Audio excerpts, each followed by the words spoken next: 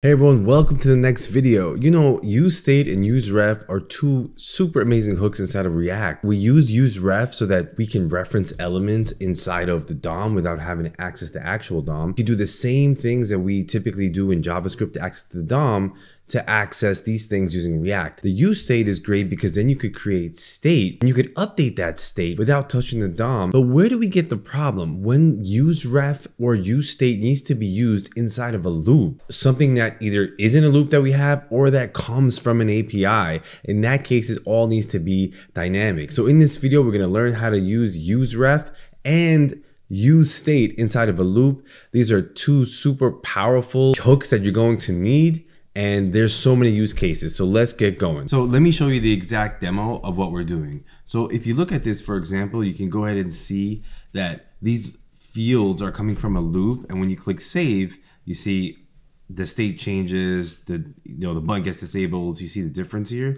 and you can see it update in real time. So here's other fields. So the content gets changed here, the state, and over here it's different. So all that is from a, a loop so it's based on useRef and useState inside of a loop. If you guys like React, Next.js, CSS, animations, hit that like button and subscribe to the channel. All right, guys, so let's get going. So on screen, you could see here, I have my code side by side and the demo on the right. So we're gonna start building this together. So the first thing is we have a field here with a save button. But what happens when we want this to change state and change um, you know, different functionality, we typically create like a ref, a, a, manual ref for it and a manual's you know, use state for the button. But now we need it to be in a loop. So let's go ahead and let's, we have here use state, use ref. So now what we're going to do is we're going to say, we're going to create a ref. So search, the first thing I want to do is create a reference for the buttons. So search button refs and use ref will be an array, right? Typically, if this wasn't there, it won't be an array, but here it'll be an array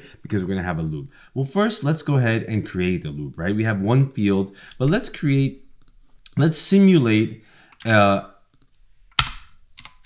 a loop. So we have an object here called fields and every field, we're just gonna call it field true. It just really that means nothing. It's just simulating an object where we have a loop of two elements. So now let's go ahead and loop over that and create this field from that loop, imagining that that came from an API or from some object that we need to use. So we're going to go ahead and loop over the fields. So we'll call it fields.map. Nope, yeah, fields.map. All right, so now we have the two fields coming from there, coming from this loop, but now these are the same elements sharing the same you know, content, but we need to separate them based on their placement in the array. So now we have the search button ref. So inside here, let's create the iteration. So in a map, you typically have any iteration field, uh, property. So we have i, and that'll become the key here for the, the field. Okay, so now we're looping properly.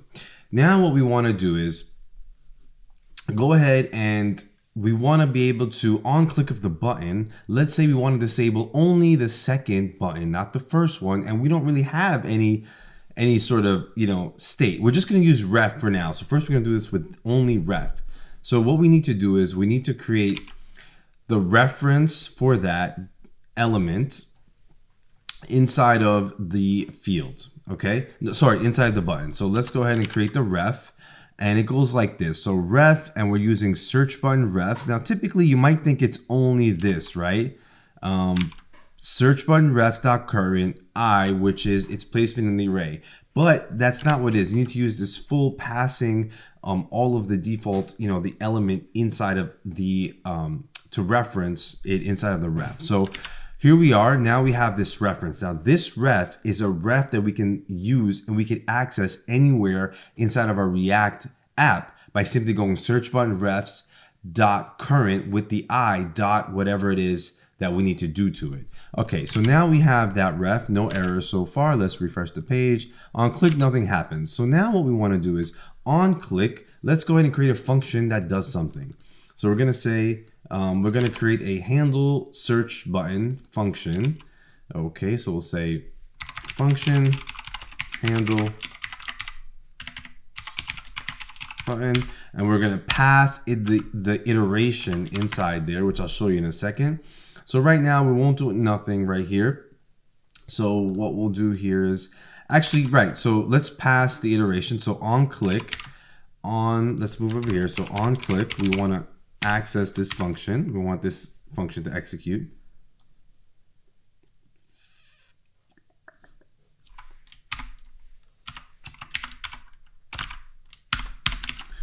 All right, so on click, we want the handle search button to, to, to run, but we want to pass the place of this element where it is, its iteration, you know, where it is, because that's how we want to reference it. So if we, we run this, we click here, right? Let's, what we want to do now, we want to be able to access that, and that's pretty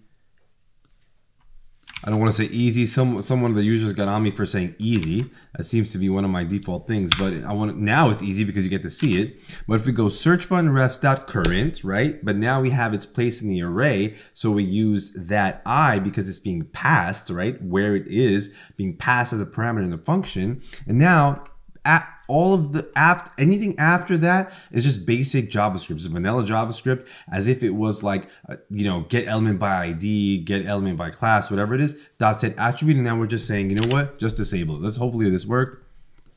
It did. Great. So now look if we refresh uh, i click save on this second element it's adding disabled to that one. And if i click the first one it's adding disabled to that one right? So now we can make all these adjustments when these things are inside of the field.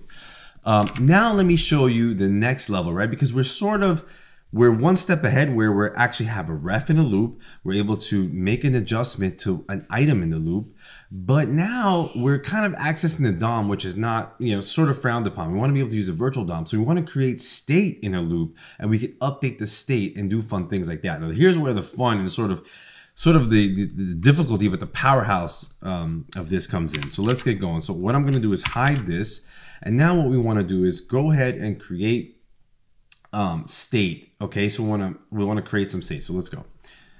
Uh, we're going to create a default state called fields state. Set field state um over here but now i'm gonna okay so let me show you how this works so we just have basic constant field state set fields nothing as the default but what we want to do is create an object and pass it as the default, right? We want to create uh, an object that it's going to be pushed into an array, right? Because right now we have state can be one thing, but we want to create all of these fields inside of the state. So we need to create an array of objects and let that be the default state. So let's go. So the first thing we're going to do is create just a variable called let field state content an empty array, right? This is not the state, it's just a field. Now we're going to map over the fields, right? And we're just going to create an array uh, with some default content. So if we go here, all we're doing, um, we're creating um, uh, a, a, a variable and we're mapping over this one and we're just creating some default a default object, which is basically disabled equals false, value equals nothing. So it's basically different things that we want to change in the state. And it's an array called field state content. And again, because we're mapping over fields, we're creating an array of objects inside of the state, which is wonderful.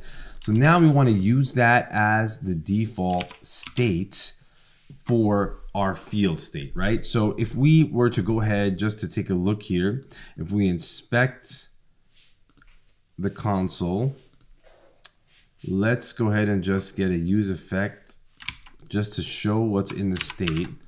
So if you see here, if we refresh the page, at the bottom here, here's what basically we have our default state disabled false on the first iteration and on the second iteration the same. So it's basically just, it's great because we're creating that loop and that basically comes from here. Okay, that's wonderful because now we have state matching our fields exactly and its placement in the array. Okay, so now let's say instead of us wanting to, if we go back here and we say handle search button and we say, go ahead and change the DOM, we're not gonna do that. We're gonna say change the state, change the place in the state. So let's go. Now how this works is what we're gonna do here is we're gonna do another map over that state. And now what's cool here, you're gonna learn how to update um, an array inside of a state right? And that's actually interesting. So let's go ahead and do that now. So I'm going to pass this over here. So we're gonna do it like this. So as you go in here, we're gonna say const update field in state equals, and we're, what we're gonna do is just map over the field state first because that's where we're going to make an adjustment. And we're going to say field state. We're just creating iterations here. And now we're going to say if whatever's passed, right, when you handle a search pattern, if that iteration equals itself, it's the, what's in the index, going to map over this and make sure it's getting the right one inside of the index. Basically finding where its placement, the, the field's placement and matching it with the, the placement in the state. So then we're going to say const make a new field state equals another object. We're just basically updating the object. But first we want to pass whatever was in the object field state. We don't, we don't want to write over all the other properties, but we only want to write over the disabled and we want to change it to the opposite. So field state dot disabled uh, is, and then we want to say return new field state. And then we want to say, or if not, just go ahead and return the field state. Okay, we don't want to make any adjustments to the other items in the state array. So now um, just look here, right? If we look here, we have an object disabled and value. Every iteration has disabled and value. And here we're not going to update the value. We're just changing the disabled. You could either put false here, but I'm going to swap it out because I want every time you click, it gets changed. And now what we're going to do is now that we have this new object change, now we're going to set that field, set the state with the new, um, with the new mapping, the new objects. So set field state, update field in state. Now when we click here, let's do a little demo here. So let's inspect, let's just make sure this all works. So let's go to the console. Let's refresh. Oop, no, we have a mistake here. So let's let's double check this here. So let's say what's state um, index. If i equals index const new field state field state disabled field state return the new field state else. Oh we didn't return here so we didn't return one for the other side.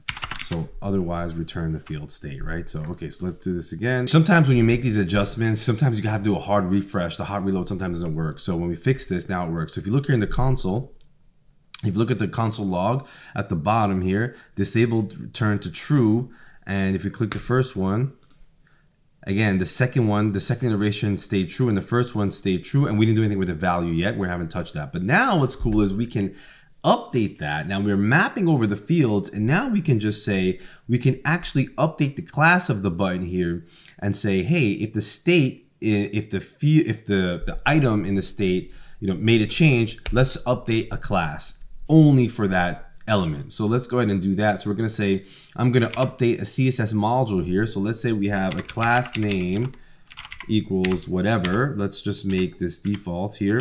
So now let's say if the field state, right, it's placed in the array, if it's dot disabled, then go ahead and add a styles dot disabled, which that will be inside of the our CSS class, our CSS module right? So if I show you that, I have that over here under um, styles.home.module. So I have one called uh, button and then I have one called uh, if it's disabled, make this change.